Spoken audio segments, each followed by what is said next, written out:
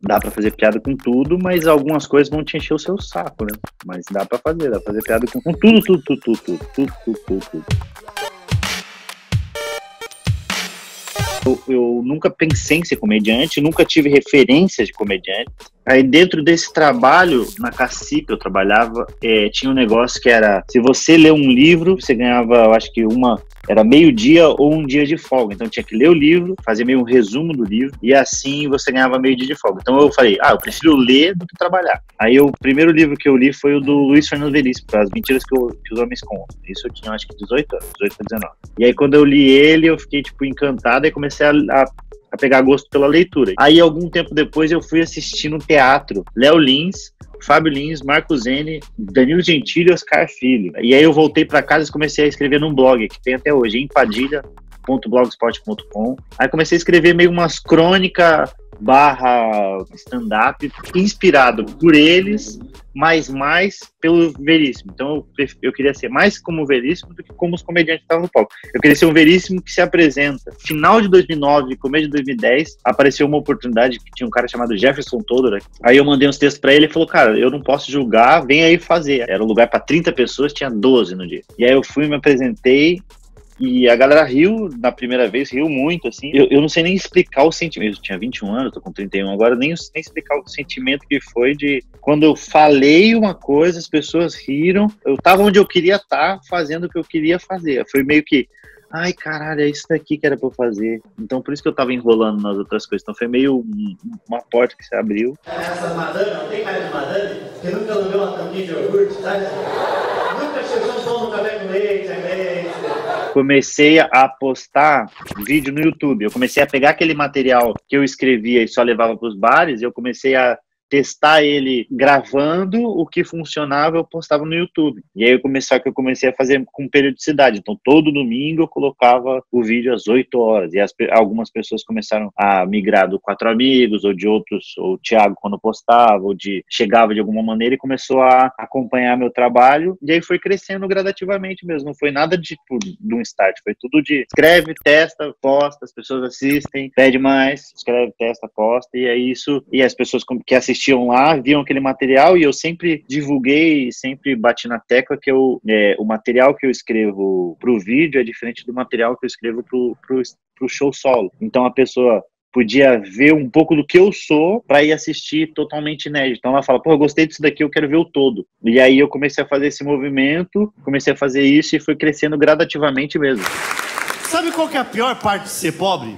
Além de ser pobre, que já é muito ruim, eu acho que é, o pacote todo é ruim. Quando começou a primeira geração do stand-up, salvo exceções, a maioria era de uma classe média e de uma e, e a comédia era de uma observação do comediante para fora. E aí eu acho que inverteu que é de, de fora para dentro. Então a gente começou a olhar para nossa situação e depreciar aquilo dali e tentar tirar sarro da vida. Primeiro porque mudou um pouco o estilo da comédia a gente trouxe mais essa essa outra coisa esse outro ponto de vista que talvez não tinha tanto com tantos comediantes que vivenciaram e viveram na, nessa pobreza extrema que a, gente, que a gente chegou a viver. Por mais clichê que seja a frase que o stand-up é a comédia do cotidiano, ela é a comédia do cotidiano. E o cotidiano, o meu cotidiano que eu cresci foi esse, foi esse da, da pobreza, que antigamente abordava-se de outra maneira, só que como a comédia evoluiu, a linguagem da comédia do cotidiano também evoluiu. E é por isso, acho que não é nenhuma um filão de ah, vamos todo mundo falar sobre pobre, que é o pobre é o que funciona. Não, vamos todo mundo falar sobre a nossa vida. Coincidentemente, todo mundo teve uma vida pobre, todo mundo, ele foi da quebrada, ele foi não sei o que, ele é negro. Então vamos falar da nossa vida como a vida como ela é mesmo, tipo, as nossas peculiaridades que o brasileiro ele faz piada com tudo. Esse é o ponto positivo, que ele faz piada com tudo e a gente tem muita possibilidade de brincar, só que tem um lado ruim que o brasileiro é ruim de aceitar piada também. A gente gosta de zoar, mas não gosta de ser zoado. Então, dentro da, do mesmo aspecto você tem o ponto positivo e negativo. O ponto positivo é que você tem uma grande gama de coisas para zoar, e o brasileiro gosta de zoar, mas ele não gosta de quando é zoado. A, a mina que eu fui conversar olhou pra mim e falou: Você é gay, né? ela não perguntou, ela afirmou. Ela falou: Você é gay, né? Eu falei: Não. E dei mó apito: Não. Eu ficar conhecido dentro de um número grande de pessoas numa bolha que é pequena foi o fato de eu, é o meu material mesmo, eu acho, de escrever e postar no YouTube. Eu acho que a quantidade, a frequência, a qualidade também, também tem a, a identificação de eu falar sobre meu pai, ou falar sobre pobreza, ou, a minha mãe, ou algum assunto que eu dava o meu ponto de vista que as pessoas se identificavam ou concordavam a ponto de co começar a mostrar para outras pessoas. É meio um esquema pirâmide mesmo. Eu falei, moça, eu não sei se você sabe, mas é, é engraçado, realmente é engraçado. O Di tem feito muita piada a respeito disso, mas de alguma maneira, em algum nível, isso machuca. Porque tem muita gente que sofre por isso. No Brasil tem muita gente que passa por isso. E as pessoas tiveram essa reação. E ela ficou com a cara de cu. E eu falei, sacanagem, quase te enganei, filha da puta. A galera falou, ei, órfão. Eu falei, é nóis. Dá pra fazer piada com tudo, mas algumas coisas vão te encher o seu saco, né? Mas dá pra fazer, dá pra fazer piada com, com tudo, tudo, tudo, tudo, tudo, tudo, tudo, tudo. Às vezes você tem que esperar um pouco mais pra poder fazer. Que dizem que comédia é tragédia, mais tempo, igual a comédia, né? Eu acho que é essa a matemática é isso. Então, espera um pouquinho para fazer com algumas coisas, mas dá para fazer piada com tudo. Só que nem todo mundo vai gostar do que você tá fazendo piada com tudo.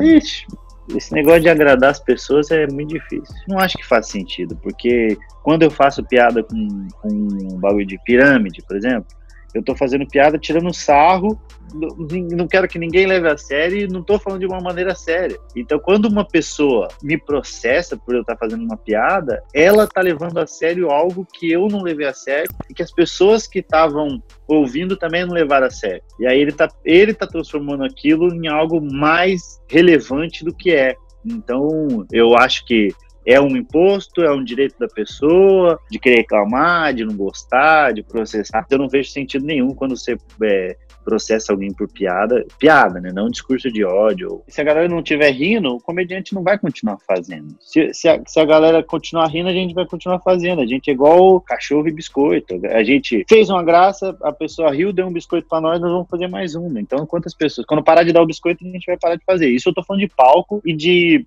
fluxo de consciência das coisas acontecendo. Agora, quando está sendo escrita a piada e testada, aí você é uma loucura controlada, né? Aí você vai ditar qual que é o seu limite, fala, não, isso daqui eu não, sobre isso daqui eu não falo, sobre isso daqui eu não falo, sobre isso daqui eu não falo. Então isso vai ser pautado e pontuado de uma maneira consciente, de uma autocensura sua mesmo, de não, isso daqui eu não, sobre isso daqui eu não vou falar, sobre isso daqui eu não vou falar. A piada continua sendo a piada mas as, a maneira que as pessoas recebem já não é mais como uma piada. Então, ela deixou de. Antigamente era uma piada para a maioria. Hoje em dia é uma piada para um número menor de pessoas. Que, e aí você vai. Antigamente tinha 10 pessoas, você contava uma piada. Oito achavam engraçado, duas falavam, cara, isso daí tá errado. Aí você fala, tá, mas tem oito pessoas rindo ainda da, da piada, porque só tem duas que não tá rindo. Hoje em dia tem oito falando que tá errado duas rindo. Vale a pena para você? Como que, por isso que eu falo que é tudo muito pessoal, além da censura de fora, tem que, tem que existir uma autocensura para que o comediante pare de fazer. Mas ainda é uma piada, ainda foi escrito no formato de uma piada. É uma piada sem graça, é uma piada que ofende, é uma piada, mas é uma piada. Eu sou Thiago Ventura, esse é Márcio Donato, Di Lopes, Afonso Padilha, um salve Thiago Carvalho, você faz parte dessa porra, tamo junto, caralho! Tá no Quatro Amigos, cara, é, é muito legal, porque a gente tem estilos diferentes de comédia, estilos diferentes de personalidade, é, de comportamento. Então é, é uma família, literalmente, porque na família geralmente você não tem pessoas que são iguais a você. E ao mesmo, é ao mesmo tempo que é uma família, é como se você estudasse com a sua família. Porque o colégio era um monte de gente diferente, mas que convergia ali para sua turbinha, sua patota, que falava: ah, a gente gosta muito de comédia, gosta muito de fazer as pessoas assim, então isso nos une você tem a coisa de aprender a se desprender, porque você tem não é só quando você está no solo, são uma, é uma hora você falando, é uma hora das pessoas vendo de você. Do Quatro Amigos, é, você tem 15 minutos e você vai lá e faz a sua parte. É realmente é, são as quatro partes formando o show completo. E aprende também, a, aprendi muito a trabalhar em grupo, no sentido de se um não for bem, ninguém foi bem. Então foi, foi muito bom.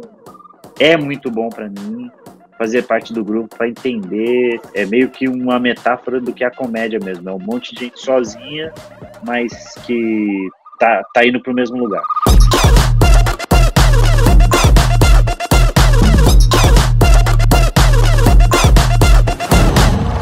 qual